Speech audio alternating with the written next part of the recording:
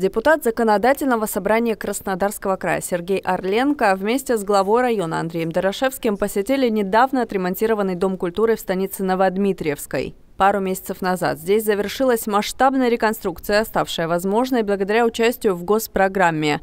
20 миллионов рублей – цена тепла, уюта и комфортной обстановки, которой сейчас буквально наслаждаются работники и гости учреждения культуры. Кубанскому парламентарию показали светлые кабинеты, оборудованные помещения и, конечно, санузлы. Как бы прозаично не звучало, но теплые уборные теперь гордость Новодмитриевского дома культуры.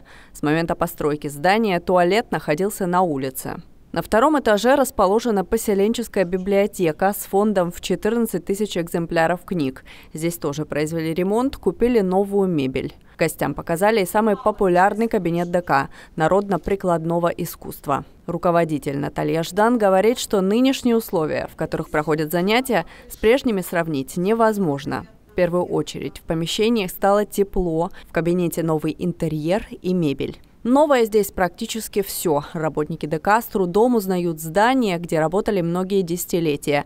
Оценили масштабное преображение, кажется, и местные жители. У меня такое ощущение, что как будто нашего Дома культуры для некоторых, ну, как будто его не было. Ну вот на самом деле. А сейчас его отремонтировали, и просто мы, дети идут, идут. Мы, конечно, очень сильно этому рады.